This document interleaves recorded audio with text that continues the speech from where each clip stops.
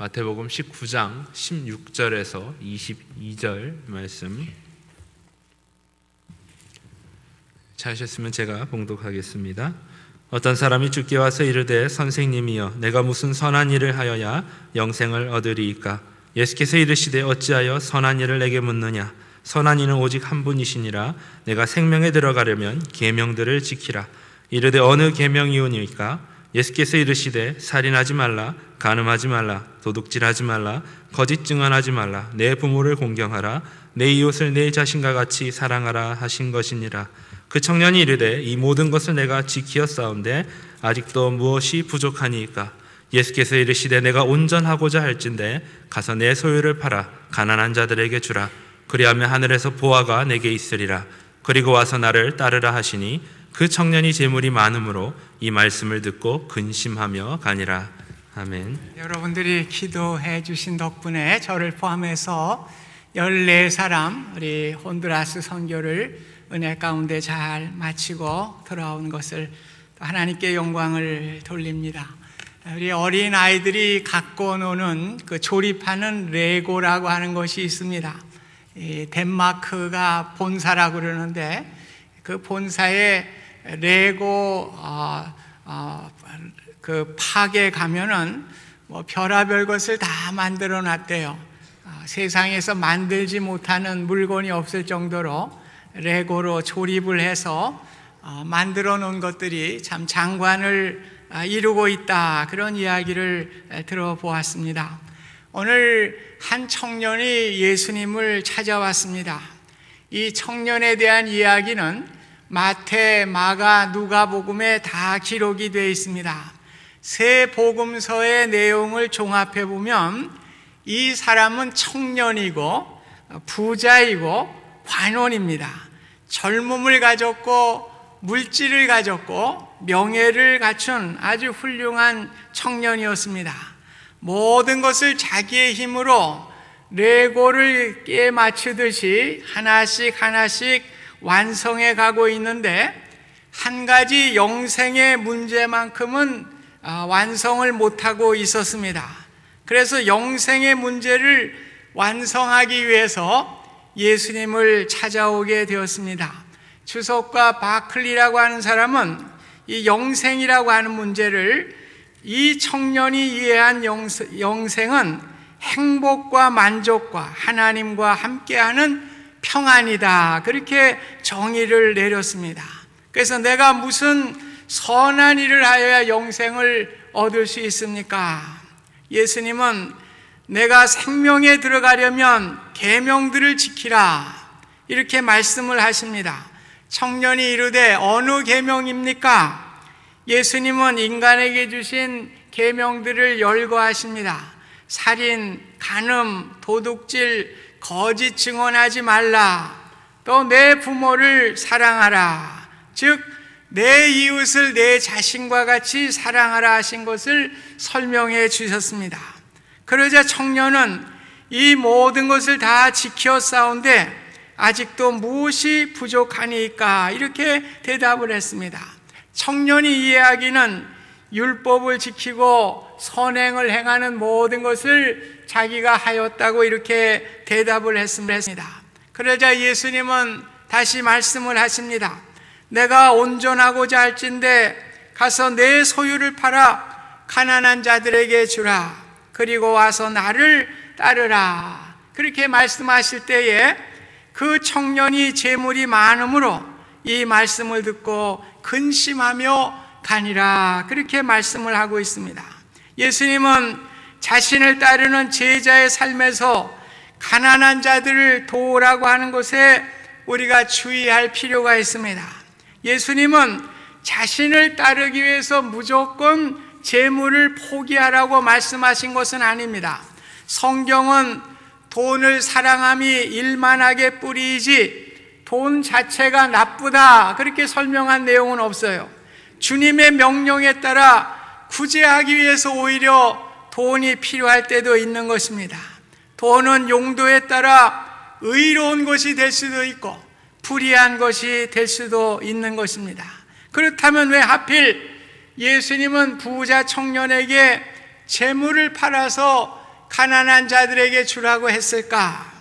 이 청년은 자신의 힘으로 모든 것을 이루려고 하는 청년입니다. 마치 레고를 조립을 해가지고 인생을 완성시키고 행복을 가지려고 하는 청년이었습니다.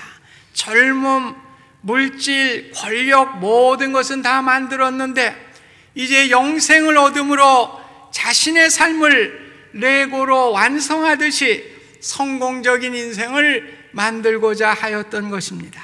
예수님은 청년이 짜 맞춰왔던 그 중에서도 가장 중요한 부분, 물질의 문제를 완전히 허물라고 한 것입니다.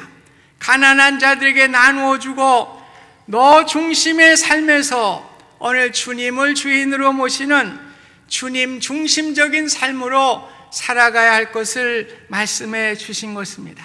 오늘 이 청년은 내 자신의 힘을 통해서 하나하나 레고를 짜 맞추듯이 인생의 행복을 누리려고 했던 것입니다. 오늘 예수님은 그 마음을 보시고 가장 중심적인 물질을 그곳에서 빼버리고 내가 레고를 맞추는 것이 아니라 나의 중심적인 삶, 말씀 중심적인 삶을 살아가게 될 때에 영생을 얻을 수 있는 것을 말씀하신 것입니다. 영생은 인간이 성취하는 것이 아니라 하나님이 주시는 것입니다. 그렇기 때문에 하나님의 뜻대로 살아가게 될 때 우리는 영생의 삶을 누리며 살아갈 수가 있는 것입니다. 주님을 따르는 일에 내 마음을 빼앗기는 것 너무나 소중하여 주님을 따르는 일에 오히려 방해가 되는 것을 없애버리라고 말씀을 하신 것입니다. 믿음의 조상 아브라함에게도 가장 소중한 것은 100세 때 얻은 독자 이삭이었습니다. 자신의 눈에 넣어도 아프지 않을 정도로 참 귀한 독자 이삭을 하나님이 주셨습니다. 그런데 하나님은 이 독자 이삭을 나에게 바치라고 할 때에 아브라함은 기꺼이 모리아 산에서 이삭을 바치려고 할 때에 하나님은 말씀하셨습니다. 내가 내 아들 내 독자까지도 내게 아끼지 아니하였으니 내가 이제야 내가 하나님을 경외하는 줄을 아노라. 오히려 독자 이삭도 잃지 아니하고 하나님의 큰 축복을 아브라함과 이삭에게 내려 주셨습니다. 부자 청년은 선택의 기로에서 자신의 생각을 버리지 못하였습니다. 자신이 인생을 맞추어 간다는 레고의 개념을 버리지 못하고 자기가 이제껏 살아온 방식대로 자기의 고집대로 자기의 주장대로 영생의 문턱에서 그만 떠나버리게 된 것입니다. 영생의 길을 가는 이들은 이 세상에서 자신의 삶을 지탱하였던 모든 것까지도 포기할 줄 아는 자신이 귀중하게 여겼던 것이 하나님 나라에 무가치한 것임을 확인하게 될 때에 오늘 그것을 과감하게 버릴 수 있는 이러한 사실을 주님이 말씀해 주신 것입니다. 오늘 예수님이 부자 청년에게 왜 이렇게 큰 도전을 주셨습니까? 삶의 주권의 문제입니다. 삶의 주권을 주님에게 맡기라고 하신 것입니다. 부자 청년은 자신의 힘으로 주님을 끌어들여서 영생의 문제를 해결하려고 했습니다. 자기의 힘으로 인생의 행복을 이루려고 하였던 것입니다. 주님은 오히려 내 삶을 붙들고 있는 것을 온전히 버리고 주님께 의지하며 나아가게 될 때에 영생의 삶, 제자의 삶을 살아갈 수 있는 것을 말씀해 주었습니다. 오늘 우리는 신앙생활 하면서 부자 청년과 다르지가 않습니다. 많은 사람이 예수님의 존재를 나의 삶에 행복을 주시는 분, 나의 삶에 어떠한 축복을 주시는 분으로 우리의 레고에 예수님을 끼워 맞추려고 하는 경우가 많이 있습니다. 그래서 어떤 농부가 송아지 두 마리를 낳대요. 그래서 부인에게 이 송아지 두 마리 중에 하나는 하나님께 드립시다. 그 부인이 어떤 송아지입니까? 그랬더니 얘기를 안 해요. 그러다 어느 날 송아지 한 마리가 죽었습니다. 그래서 부인이 물었습니다. 아니, 하나님의 것이 죽었어? 당신 것이 죽었어? 아, 물론 하나님의 것이 죽었어. 오늘 우리는 늘 아전인수예요. 하나님의 뜻이라고 이야기하면서도 나에게 유리한 것을 우리가 선택하며 나아가는 것이 오늘 우리의 모습입니다. 이번 선교 중에 우리 큐티를 하면서 예수님의 새벽 기도 하시는 모습이 나왔어요. 오늘 새벽 미명에 예수님이 기도를 하셨습니다. 왜 기도를 하신 것입니까? 하나님의 뜻을 알기 위해서, 오늘 하나님의 뜻을 발견하기 위해서 바쁜 가운데서도 새벽 미명에 하나님께 기도를 드리게 된 것입니다. 오늘 주님의 뜻이라는 것은 어떤 것입니까?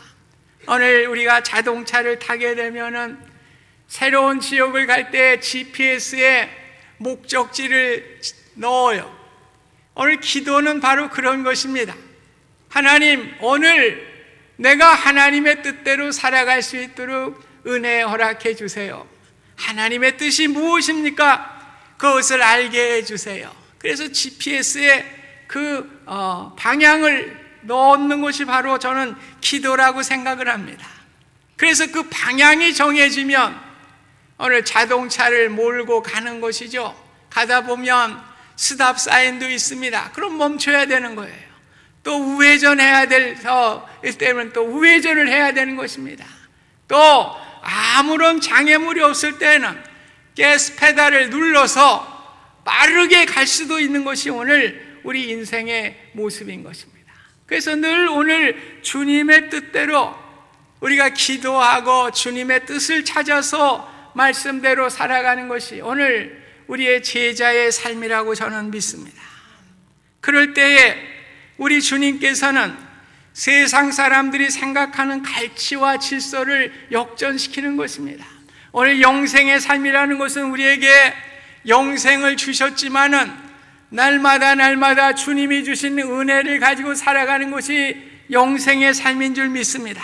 그래서 심령이 가난한 자가 위로함을 받게 되고 온유한 사람이 땅을 기업으로 받게 되고 의에 줄이고 목마른 자가 배부르게 되고 국률이 여기는 자가 국률함이 여김을 받게 되고 마음이 청결한 자가 하나님을 보게 되는 놀라운 은혜를 얻게 되는 것입니다. 세상의 질서 완전히 반대이지요. 오늘 하나님의 뜻을 따라 살아가게 될 때에 영생의 기쁨을 누리며 살아가는 것을 예수님은 말씀해 주셨습니다. 오늘은 성찬을 받는 주일입니다. 예수님은 십자가를 지시기 전날 밤에 제자들에게 이 잔은 내 피로 세운 새 언약이라고 말씀하셨습니다. 예수님은 언약 즉 새로운 약속의 관계를 맺기를 원하십니다. 이 시간 주님과 새로운 약속을 다짐하는 귀한 성찬이 되실 수 있기를 주님의 이름으로 부탁드립니다. 주님의 갈보리 십자가에서 흘리신 보배로운 피로 나를 구원하시고 영생의 길을 걷게 하셨사오니 이제 영생의 길을 걷는 주님의 제자가 되게 하여 주시옵소서. 다짐하는 귀한 시간이 되기를 축원드립니다. 이제 성찬의 떡과 잔을 통하여 지금까지 내 생각과 내 주장으로 주님을 나의 삶에 끼워 맞추려고 하는 레고의 개념을 없애 주시옵소서. 주님 이제 주님이 나의 삶의 주인이 돼 주시고 나를 주관하시고 영생의 길을 걷는 진정한 영생의 기쁨을 누리며 살아가는 참 제자가 될 수 있기를 주님 원합니다. 고백하며 나아가는 귀한 시간이 되실 수 있기를 주님의 이름으로 축복드립니다. 주님, 이 시간에 성찬을 받습니다. 영생을 얻은 저희들, 영생의 기쁨을 누리는 주님의 뜻에 순종하며 나아가는 귀한 시간이 될 수 있도록 축복하여 주시옵소서 예수님의 이름으로 기도하옵나이다. 아멘.